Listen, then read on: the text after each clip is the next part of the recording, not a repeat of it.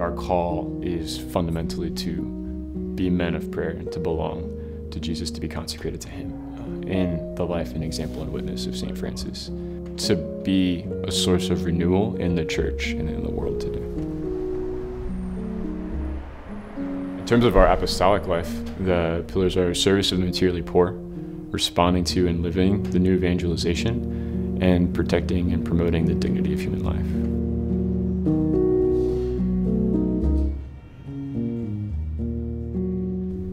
Living together as brothers in fraternity, we never do anything alone. I mean, we have time alone when I'm in the workshop here and doing things like that, but it's never usually for myself. You know, it's like we pray together, we live together, we work together, and we hold each other accountable.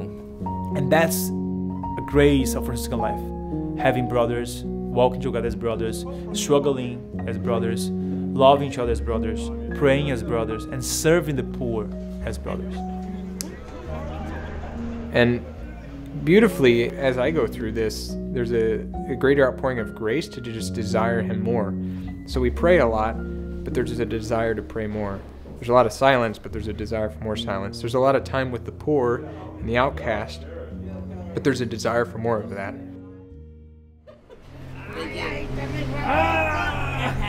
Hello, Juan. How are you?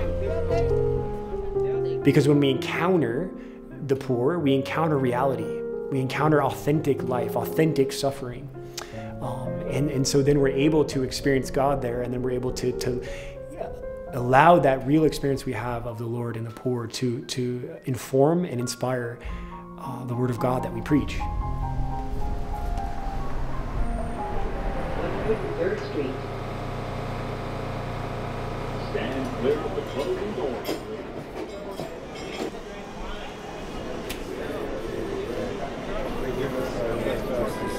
as we forgive those who trespass against us. And lead us not into temptation, but deliver us from evil. Immaculate Heart of Mary, cause of our joy, pray for us. Good to meet you, Mike. Thank you. Yeah. Yo, you know what? You guys came in my life for a reason. You know that, right? Yeah. We did. Meant to be, okay, man. for a reason, bro. It's hard, but you know what? I get through it. I'm telling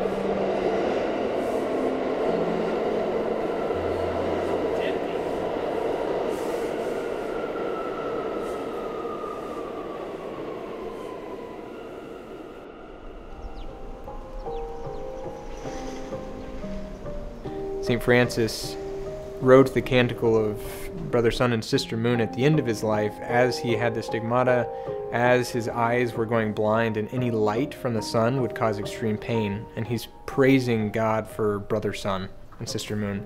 And it's out of this place of living in the cross that he comes to find joy because he starts to see things not as he sees them, but as God sees them. And so living a communal life, like St. Francis, following in his footsteps, I'm giving up my own will, handing it to God the Father, and through him, through my superiors, my legitimate superiors in the order, they're ordering everything according to his will. And out of that, I realize his will for me is good. Everything that he is doing for me right here is so, so good. I think many, many of friars, they're here because the first excitement with Franciscan life was through fraternity. When you see the brothers together, it's a very eloquent sign of consecration because you receive your brothers as gifts from the Lord. Francis said this in the Testament, and the Lord gave me brothers. So it's not that Francis decided to found a community. The Lord sent people. Even the unclean spirits, and they obey. His fame spread everywhere throughout the whole region of Galilee. The Gospel of the Lord. Praise to you, Lord Jesus Christ.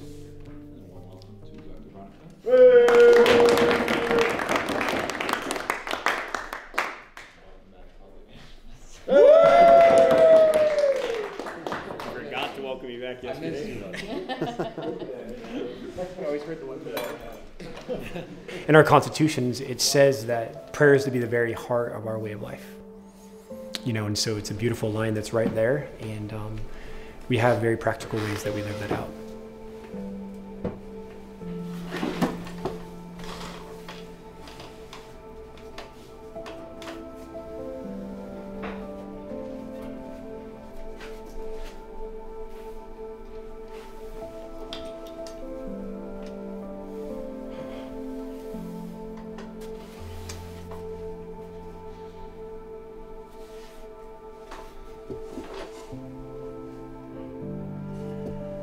Before we can even give of ourselves anywhere else.